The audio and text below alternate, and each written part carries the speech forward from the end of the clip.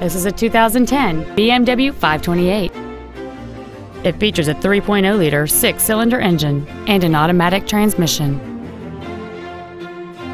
Its top features include a moonroof, adaptive brake lights, a low tire pressure indicator, alloy wheels, and hill descent control.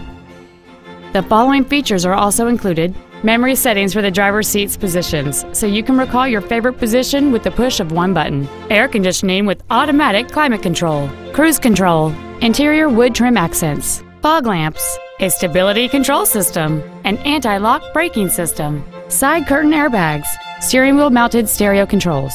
And this vehicle has fewer than 21,000 miles on the odometer.